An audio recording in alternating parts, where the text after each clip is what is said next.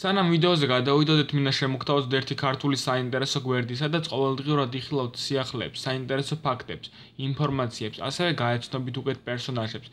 გვერდი მოგეწონებათ როგორც DC-ის, ასევე Marvel-ის მოყვარულებს. გადადით, მოიწონეთ და იაქტიურეთ. ლინკი იქნება ვიდეოს აღწერაში. ახლა კი შევუდგეთ ვიდეოს.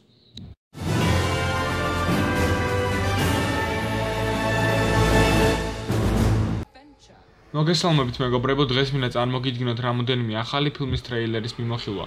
ამაზე ცალ-ცალკე ვიდეოს გადაღება ნამდვილად არ ღირს, რადგან ინფორმაციები არც ისე დიდია, მაგრამ ამ გამაერთიანებელი ვიდეოთი ვფიქრობ ბევრ ამის გაიგებთ. მოდი დავიწყოთ.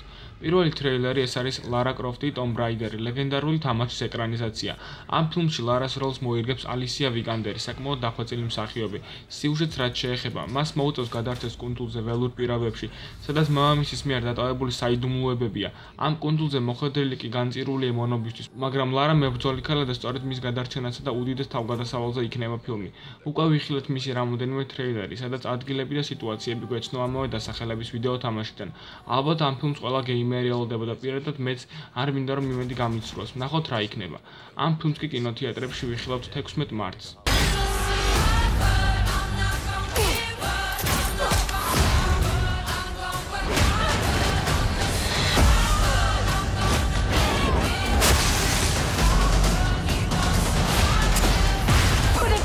Your finger that's pulling this trigger. You messed with the wrong family.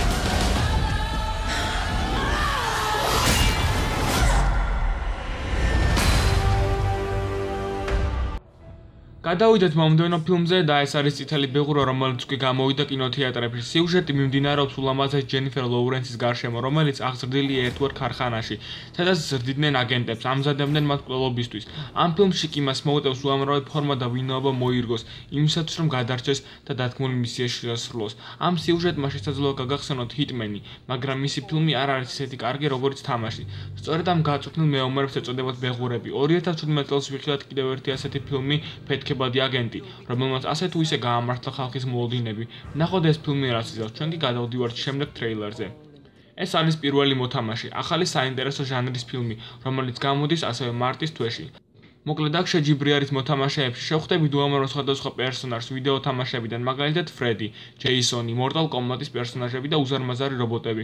ვფიქრობ საინტერესო და რაც თავარი ახალი სიტყვა იქნება კინოსამყაროში. რა თქმა უნდა, აქაც იქნებიან გარკვეული ვილეინები, რომლებიც შეესწებიან მოთამაშეების სვლა, უკან დახიონ და უპირატესობა მოიპოვონ. The Oasis, the world's most important economic resource. It's nothing less than a war for control of the future.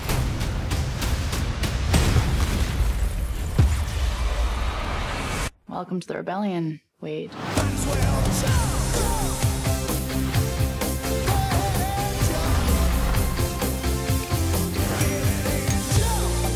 Like many of you, I only came here to escape.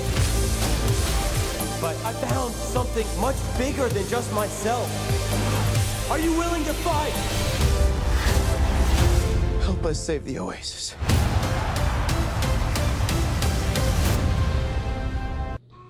შემდეგი ფილმი ეს არის წყნარი ოკეანის ტიტანები 2 აღზევება. პირველად ფილმში ნაჩვენები მოვლენებიდან წლები გავიდა, თუმცა დედამიწა კვლავ საფრთხეშია. მას ისევე მუქრებიან კაიჯუები, რომელთაც პლანეტის დაპყრობა სურთ. კვლავ იხსნება განზომილებათა შორის პორტალი, საიდანაც კიდევ უფრო ძლიერი მონსტრები მოდიან. შეძლებს კი კაცობრიობა მათთან დაპირისპირებას.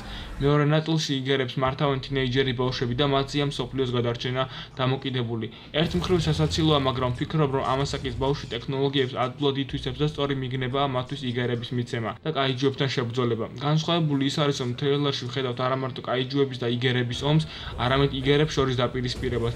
ალბათ კაიჯუებს გარკვეული ცდომა აქვთ ამ გამონადგურებელ რობოტებთან. დიდად არ მოვიხიბლე ტრეილერი და ფილმი ვნახოთ რა იქნება. მათ კინოთეატრებში მიმდინარე წლის 23 მარტს ვიხილავთ. დღევანდელი ვიდეოსთვის კი სულ ეს იყო.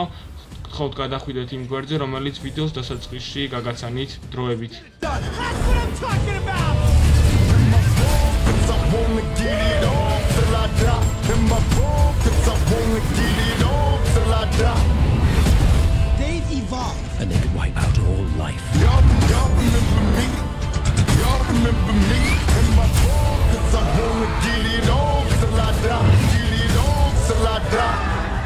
get used to this.